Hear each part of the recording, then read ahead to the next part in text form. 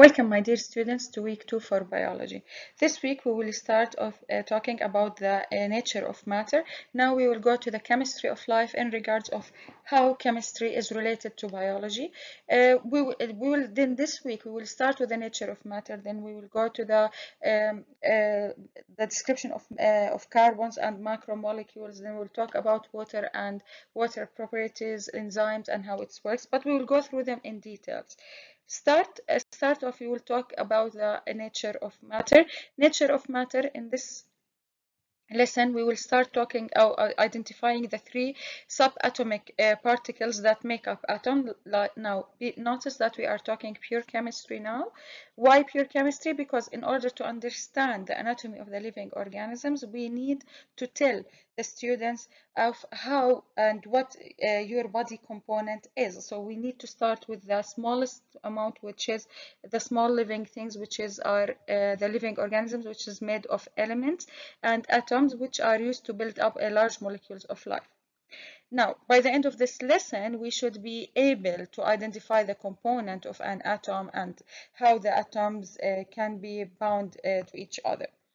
Then, after that, we need to talk about uh, to explain how all iso um, isomers or isotope, uh, isotopes of an elements are similar and how they are different from each other. Then we need to talk about the components, how they are different from their component element, yani what is the difference between them.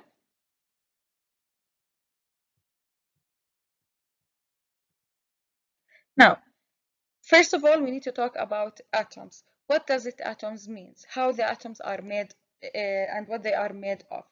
Atoms made of three main components, protons, neutrons, and electrons. Now, when we are talking about protons, they are the positive charge that we can find inside, inside the atom. Neutrons, from their name, neutrons mean neutral. Neutrals, that means that has no charge, neither positive nor negative. It's found inside also uh, the um, uh, the nucleus or inside the atoms, and it's compare to compare uh, to maintain balance for the uh, for, uh, for, the atoms. In compared to the electrons which which are the the negative charge that found outside the atoms. And they are what? They found outside outside the atoms and give the negative charge. Normally, positive and negative protons and electrons are equal in numbers. Now, either gaining or losing an electron causing the atoms to become what to become ionics having an charge whether it was positive or negative charge by losing or adding electrons to their uh, to their to their um, to the total number of uh, of atoms inside it okay Now, the subatomic particle, the subatomic particles that make up atoms are protons, neutrons, and electrons, as we just said.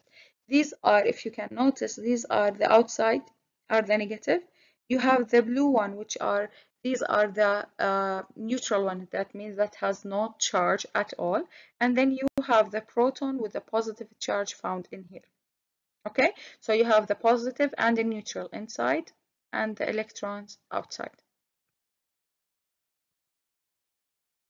Now, atomic number. When we talk about elements, we need to know about the atomic numbers. Now, what is the atomic numbers? An element is a pure substance that consists uh, entirely of one type of atom, either oxygen, carbon, hydrogen. It's an it's only uh, consists of one. Now, explain, we need to know the different elements that have different number of protons that has an atomic number. Now, let's, for example, we are talking about carbons. Carbon has an atomic number of six. That means that the total amount of atoms in the carbon is called, uh, they have six now. How they are distributed, this is, we will talk about it later, but it has a six, uh, a number of six atomic numbers okay as you can see in this picture. Now isotopes. What is isotopes? What is the definition of isotopes?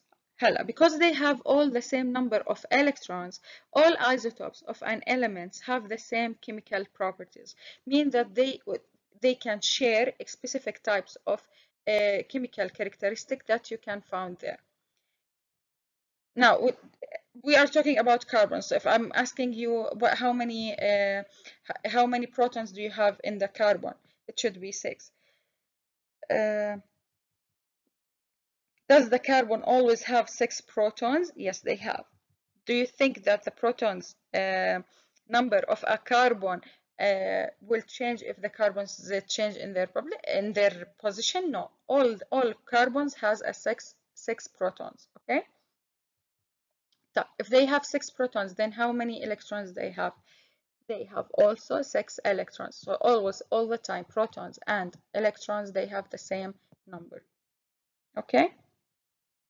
Now, carbon uh, will form bond with other atoms and in this case it will share electrons with other atoms so this may be causes to adding gaining losing a number of electrons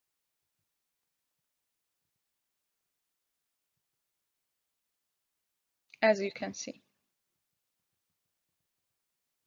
now this one this this will have either losing or gaining electrons which we will go through them in details later on Chemical component. A chemical component is a substance formed by chemical compo uh, composition of two or more elements in defined with uh, proper preparations, yani different preparation.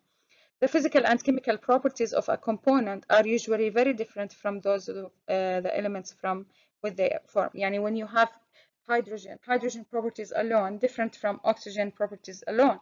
When hydrogen and oxygen bond together, they will form H2O, which is water, which is also a complete different characteristic than other than the one that you start off, which is hydrogen and oxygen.